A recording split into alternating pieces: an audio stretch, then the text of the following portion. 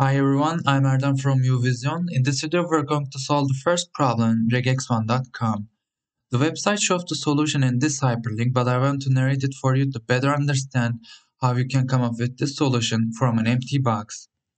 The problem is about matching numbers that are in specific formats. You have 5 positive samples to catch, and your regex pattern must not match with this negative sample. First, I want to indicate the start and end points of our regex pattern by inserting caret and dollar signs and make an observation afterwards. Note that second sample, the second sample has, has a negative sign and the rest of them don't have any sign indicator meaning that they are positive. This observation leads to the conclusion that negative sign is an optional character indeed and we can we can indicate optionality of the negative sign by inserting question mark afterwards. After the negative sign or no sign at all, we're expecting digits, right? And the occurrence frequency of uh, digits in any sample is at least once.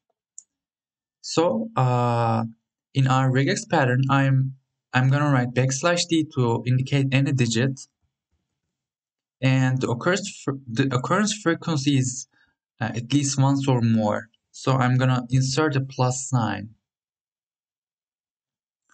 Now, the next observation is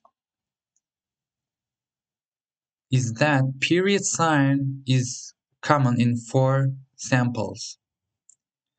But before before this period sign, we have comma trailed by some digits in the fifth sample. So we're gonna make an optional catch not to miss this fifth sample. Optional catches are realized by inserting parentheses and you can indicate its uh, frequency or just say this is an optional catch.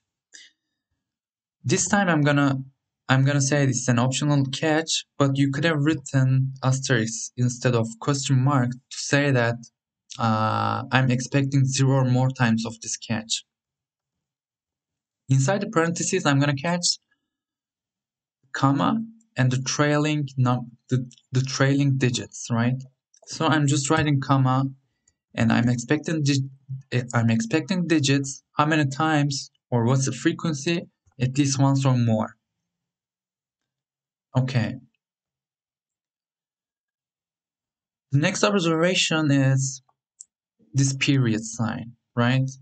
So the period is common in four samples. So I'm gonna catch uh, those samples, but I must not exclude this integer 128 because it does not have any period sign. So the period catch will also be an optional catch. So I'm just gonna insert another parenthesis here and I'm saying this catch is optional you could have written asterisk, asterisk instead of question mark to say I'm expecting zero or more times of this catch, but uh, it's up to you, however you like. Uh, this catch gonna uh, match the period sign, so the period is indicated by backslash dot. You cannot write just dot because it matches with any character in your uh, sample set.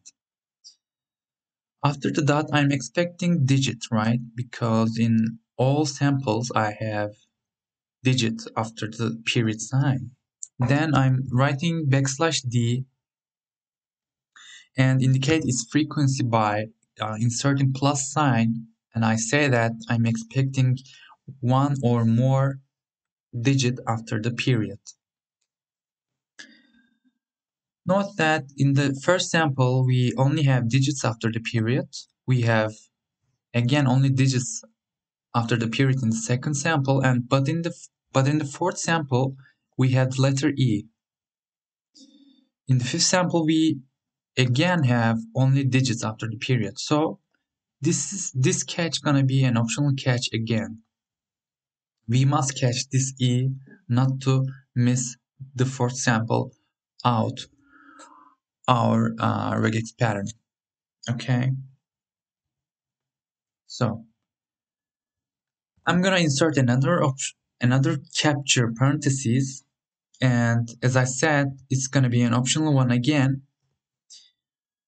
What I'm to catch inside these parentheses, I'm to catch the letter E, and uh, it's to be trailed by some digits. So I'm indicating that one by writing backslash d and a plus sign.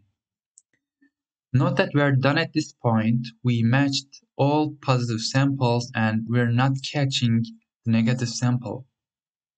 That's all for this video. Thanks for watching.